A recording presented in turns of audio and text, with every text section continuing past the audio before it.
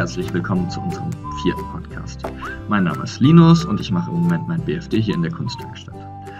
Heute wird es etwas um das Jugendteam gehen. Das hatte ich schon mit Marlo einmal ein bisschen genauer angekündigt.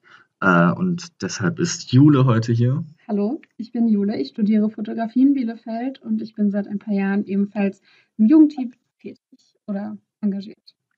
Ja, dann würde ich erstmal darauf kommen, wer überhaupt im Jugendteam ist. Und im Jugendteam sind Jugendliche im Alter zwischen 13 und 20 Jahren.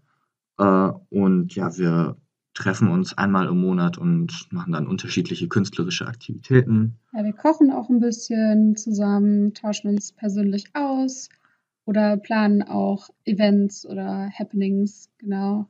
Stehen auch in Kontakt äh, über WhatsApp und tauschen uns da auch sporadisch aus. Genau, also wir in der Vergangenheit einige Projekte gemacht oder gefördert, wie auch immer. Äh, darunter zum Beispiel die Schneckenaktion. Dabei haben wir ähm, Schnecken gebastelt aus. Wir haben die Körper gefilzt und die Schneckenhäuser haben wir gekauft gemalt. und ange, äh, angemalt. Und dann haben wir da so kleine, kleine, Botschaften. kleine Botschaften reingesteckt, die äh, irgendwie ein nettes Zitat oder sowas drauf hatten, eine nette Botschaft, äh, um halt den Menschen, die sie gefunden haben, äh, den Tag zu versüßen. Den Tag zu versüßen, genau. Wir haben die dann halt äh, hier in Kreuznach, oh, ich glaube, an einem Treffen dann haben wir uns ganze zwei Stunden damit beschäftigt, einfach nur Schnecken hier in Kreuznach zu verteilen. Äh, ja, ansonsten haben wir noch unsere eigenen Sticker designt, beziehungsweise Sticker für die Kunstwerkstatt. Das äh, Projekt liegt jetzt leider im Moment so noch ein bisschen auf Eis wegen Corona, weil wir uns im Moment nicht so aktiv treffen können, treffen können. Zumindest hier nicht in den Räumlichkeiten. Äh, aber sobald das wieder möglich ist, äh, werden wir da auch an dem Projekt weiterarbeiten. Ja, dem waren wir auch ähm, teilweise äh, involviert in dem Projekt der Welle im Kurpark. Die Sitzgelegenheit, genau, ja. die da steht, die hat was mit der Kunstwerkstatt zu tun, mit dem Linken. Genau.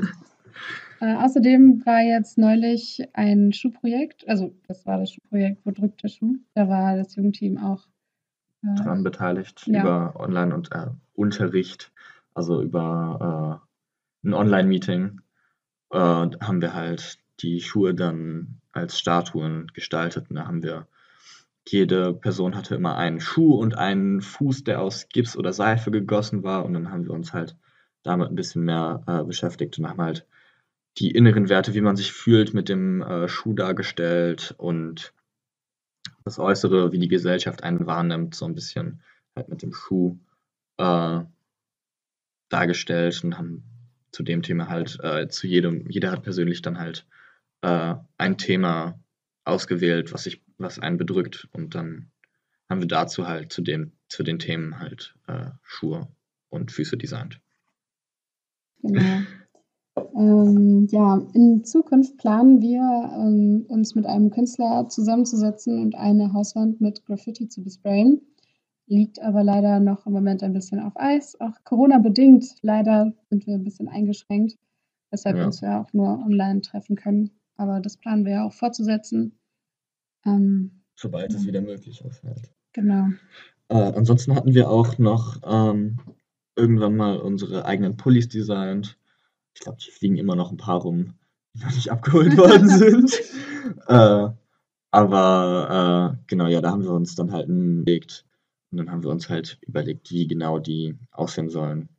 Genau, und dann haben wir uns halt eigene Pullis gemacht. Ansonsten ist halt im Moment nicht so viel äh, aktiv, weil Corona-bedingt halt wir uns nicht zu 10, 20 sind, wir, waren wir zwischenzeitlich mal äh, treffen können. Äh, aber wir machen halt trotzdem immer noch über online, treffen wir uns ab und zu.